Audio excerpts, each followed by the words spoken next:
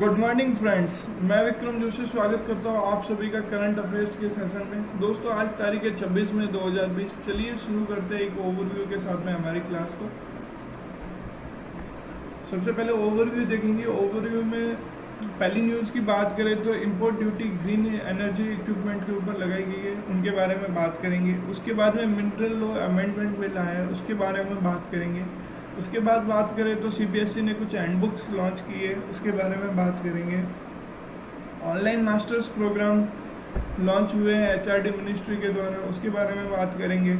Airtel Africa और UNICEF ने partnership की है चिल्ड्रंस और फैमिली को सपोर्ट करने के लिए, उसके बारे में बात करेंगे।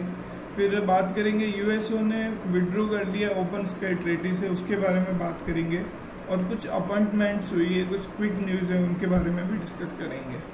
चलिए दोस्तों, बढ़ते हैं हमारी पहली न्यूज़ की तरफ़। दोस्तों, सबसे पहली न्यूज़ की बात करें तो ग्रीन एनर्जी इक्विपमेंट के ऊपर हमारे फाइनेंस मिनिस्टर निर्मला सीतारमण जी ने 20 परसेंट इम्पोर्ट ड्यूटी बढ़ा दी है। अगर बात करें कि ये निर्णय किस लिए लिया गया है तो दोस्तों, ये लोकल मैन्युफैक्चरिंग को बढ़ावा देने के लिए ये निर्णय लिया गया और लो क्वालिटी चाइनीज़ प्रोडक्ट को कम करने के लिए ये निर्णय लिया गया है। अगर बात करें इस निर्णय से तो यूएस और चाइना के बाद में इंडिया थर्ड लार्जेस्ट कंज्यूमर है एनर्जी का। लेकिन अगर बात करें मैन्युफैक्चरिंग की तो सिर्फ़ तीन गीगावॉट के सोलर सेल्स बनाता है सोलर सोलर पैनल्स बनाता है इंडिया तो होम मैन्युफैक्चरिंग को बढ़ावा देने के लिए ये डिसीज़न लिए गए। दोस्तों, अगली न्यूज़ की बात करेंगे। अगली न्यूज़ है कि लोकसभा ने mineral law amendment bill pass किया है। Mineral law amendment bill mines और मिनरल्स एक्ट 1957 और coal mines 1950 sorry, coal mines act 2015 इन दोनों को रिप्लेस करेगा। और ये कोल सेक्टर में ओपन माइनिंग के लिए, कमर्शियल माइनिंग के लिए सेक्टर को ओपन करेगा। दोस्तों, बात करें लोकसभा की तो 543 सीट्स है लोकसभा में। चलिए बढ़ते हैं अगली न्यूज़ की तरफ़।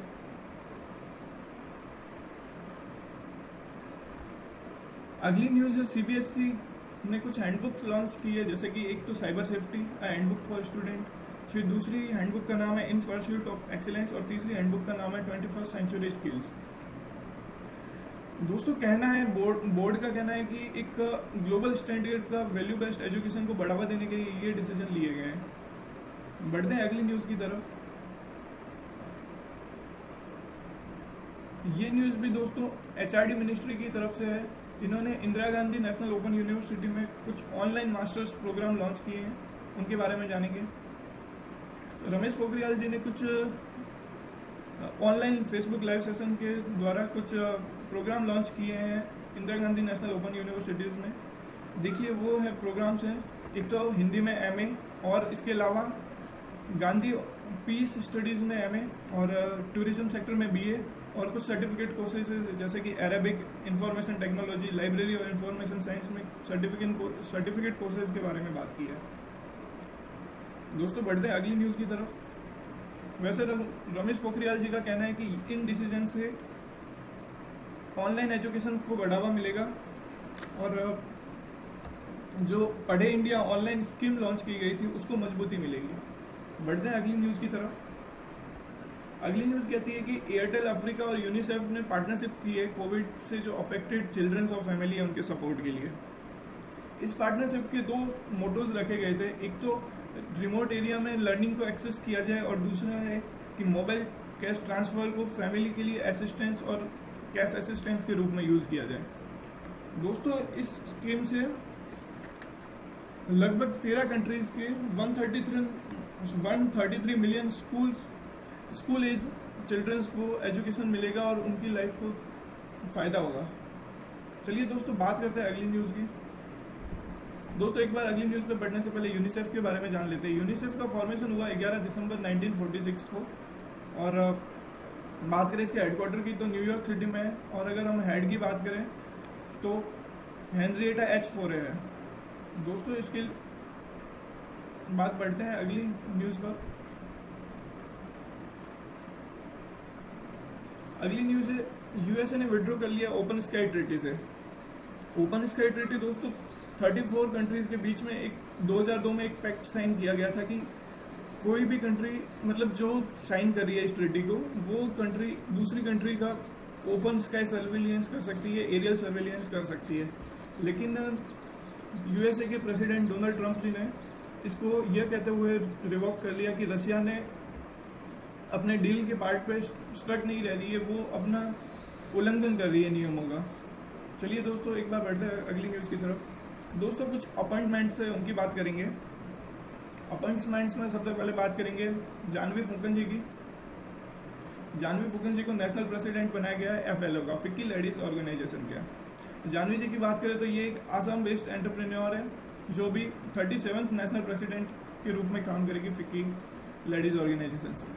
दोस्तों, अगर फिक्की लेडीज़ ऑर्गेनाइजेशन की बात करें तो ये लेडीज़ एंटरप्रेन्योर्स के लिए एक बॉडी है जिसमें आठ हज़ार से ज़्यादा लेडीज़ एंटरप्रेन्योर्स और प्रोफेशनल्स काम करती है और यह बॉडी लेडीज़ को मतलब वुमेन्स को इक्वल राइट्स दिलाने के लिए काम करती है इकोनॉमिक डिपार्टमेंट में। चलिए दोस्तों, बात करते हैं अगली न्यूज़ की तरफ़। अवध झा को वर्ल्ड बैंक के प्रैक्टिस मैनेजर चुना गया क्लाइमेट चेंज के लिए। अवध झा की बात करें तो ये वर्ल्ड बैंक के प्रैक्टिस मैनेजर चुने गए क्लाइमेट चेंज और डिजास्टर मैनेजमेंट रिस्क में साउथ एशिया रीजन के लिए। साउथ एशिया रीजन की बात करें, दोस्तों एक बार बात करते हैं वर्ल्ड बैंक की। वर्ल्ड बैंक दोस्तों दो बॉडी से मिलकर बना हुआ है। एक तो International Bank for Reconstruction and Development और दूसरी बॉडी की बात करें तो इंटरनेशनल डेवलपमेंट एसोसिएशन जैसा कि हमने कल भी बात की थी कि ये बैंक डेवलपिंग कंट्रीज़ को लोन देता है, जबकि ये पुअर कंट्रीज़ को लोन देता है। अगर हम बात करें फॉर्मेशन की तो 1944 में फॉर्मेशन हुआ वर्ल्ड बैंक का। हेडक्वार्टर है वाशिंगटन डीसी और मेंबरशिप की बात करें तो 189 कंट्रीज़ आईबीआईडी के मेंबर है और 173 कंट्रीज़ आईडीए के मेंबर है। की पीपल की बात करें तो डेविड मालपास है प्रेसिडेंट अंशुला कांत एमडी और सीएफओ है। दोस्तों, बढ़ते हैं अब कुछ क्विक न्यूज़ की तरफ़। सबसे पहली क्विक न्यूज़ है, हमारे हॉकी आइकन बलबीर सिंह जी की निधन हो गया। है दोस्तों, इनके टाइम पे ओलंपिक में हमारे इंडिया ने तीन गोल्ड मेडल जीते हुए हैं और बहुत ही शानदार खिलाड़ी थे। चलिए दोस्तों, बढ़ते हैं अगली न्यूज़ की तरफ़। दोस्तों इंटरनेशनल लेबर ऑर्गेनाइजेशन से सॉरी इंटरनेशनल लेबर ऑर्गेनाइजेशन ने हमारे प्राइम मिनिस्टर नरेंद्र मोदी को कंसर्न जारी करते हुए लेबर लॉ के लिए लेटर लिखा है और उन्होंने प्रधानमंत्री जी से आग्रह किया है कि वो एक क्लियर मैसेज सेंड करें। सेंट्रल गवर्नमेंट और स्टेट गवर्नमेंट को ताकि लेबर्स को प्रॉब्लम ना हो और एक प्रॉपर कमिटमेंट मिल पाए उनको। चलिए दोस्तों, बात करते हैं अगली न्यूज़ की। दोस्तों, एक बार इंटरनेशनल लेबर ऑर्गेनाइजेशन के बारे में जानेंगे। फॉर्मेशन हुआ 29 अक्टूबर 1999 को सॉरी 1919 को, और हेडक्वार्टर जिनेवा में स्विट्जरलैंड में। और हेड की बात करें तो गाय राइडर है जो कि इंग्लैंड से है। चलिए दोस्तों, बढ़ते अगली क्विक न्यूज़ की तरफ़। दोस्तों अगली क्विक न्यूज़ कहती है कि उत्तर प्रदेश ने एक माइग्रेशन कमीशन सेटअप किया है एम्प्लॉय लेबर्स के लिए। दोस्तों, जो माइग्रेट माइग्रेंट लेबर्स आए हैं उत्तर प्रदेश में, उनके स्किल को जानने के लिए मतलब उनकी स्किल्स को पहचानने का काम करेगा ये कमीशन और उनकी स्किल्स के हिसाब से उनको उत्तर प्रदेश में ही जॉब मिल जाए और वो वहीं पे काम करें, उनकी स्किल्स के हिसाब से, ऐसा बताया गया है और ये कमीशन उसी के हिसाब से काम करेगा। चलिए दोस्तों, बढ़ते हैं अगली न्यूज़ की तरफ़। चलिए दोस्तों, आज का सेशन यहीं पे ख़त्म करते हैं। धन्यवाद हमारे साथ बने रहने के लिए। और अगर आपको ये सेशन अच्छा लगा तो प्लीज़ लाइक कीजिए कमेंट्स कीजिए और शेयर कीजिए। थैंक यू दोस्तों।